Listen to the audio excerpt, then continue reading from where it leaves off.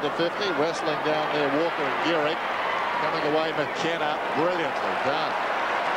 Over 60 metres and so precise. Simmons intent on drawing a man, Francis. Now goes to Turnbull, who's normally a long kick. He goes from 65. Oh, loved it. Go, McKenna. What a way to mop up. A very good mopper-upper. Just read it beautifully across hard back. And he's, as Dennis said, his spotting kick over 60 metres was spot on. And Turnbull, who does back himself a fair bit, is a prodigious kick. Oh, what roost. Great, good shove it on the goal line too by Morrison.